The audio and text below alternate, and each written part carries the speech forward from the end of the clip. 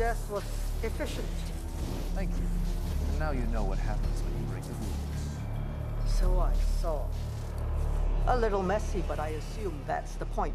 I want to buy the tech for that fencing system. Proprietary. Owned by Osyraa. Not for sale. How disappointing. How do you control the perimeter fence? From your office? I can't say. The controls are in your pocket, I know, because you keep touching them. Servant, we're shopping. Uh, I want those magnetic interlocks and two plasma conduits. Ma'am, you also wanted warp coils to melt down for Cordenum. Mm-hmm. Buy me some time. Okay, go. What kind of rubbish do you have down here?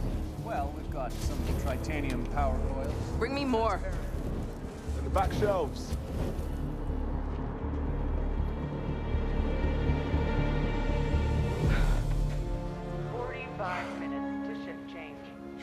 Supposed to come.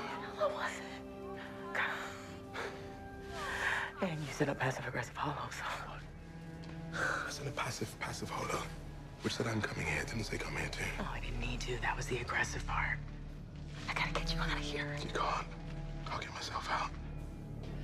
If I cross that perimeter, what happened to that guy who ran happens to me. I know.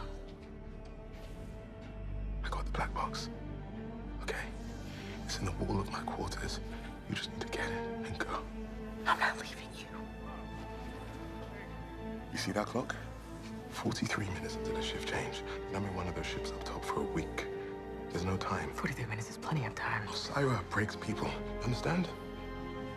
Ryn the Andorian, he was born into the Emerald Chain. He tried to rally the people against them. People were beginning to listen. So she hacked off his antennae and made him the guy that plants this thing. Now he's a pariah. We are gonna get you and everybody out. And I have an idea. Remember ISO 7?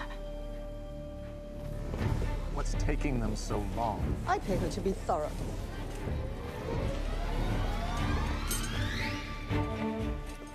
Found what we were looking for. They were buried pretty deep. Uh, I'll need 40 minutes to properly clean and inspect them. 40 minutes. it's a lifetime. What the hell? Get a drone to stay on them.